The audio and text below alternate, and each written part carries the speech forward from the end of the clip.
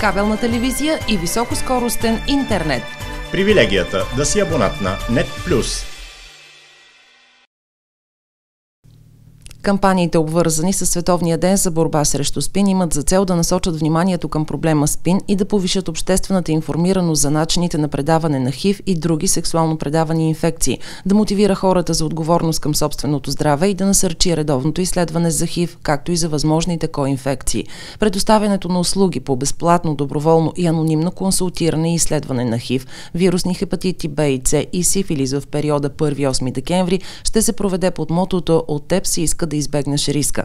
По данни на Министерство на здравеопазването, за първите 10 месеца на тази година общо 277 759 лица са се изследвали безплатно и анонимно и са узнали своя ХИВ статус. От началото на тази година са открити нови 228 ХИВ серопозитивни. Запазва се тенденцията от последните години броят на новорегистрираните мъже да е многократно по-голям от инфектираните жени. Съотношението на инфектираните мъже и жени през настоящата година е 4 към 1.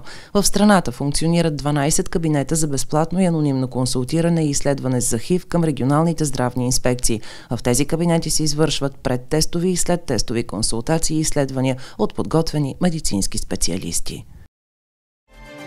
Кабелна телевизия и високоскоростен интернет. Привилегията да си абонат на NET+.